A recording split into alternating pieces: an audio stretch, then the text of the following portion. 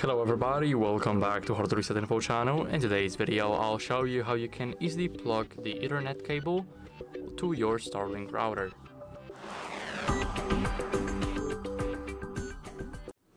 So first what you guys need to do is open up the back of it. So let me turn it around.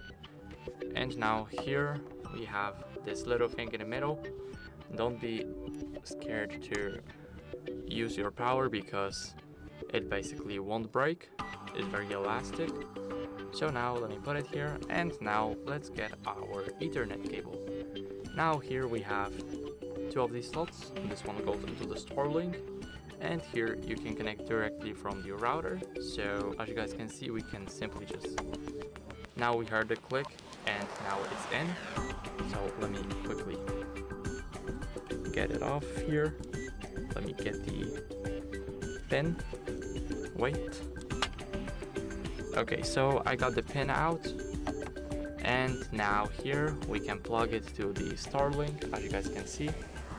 And now we need to plug the ethernet cable to the Starlink and it would work.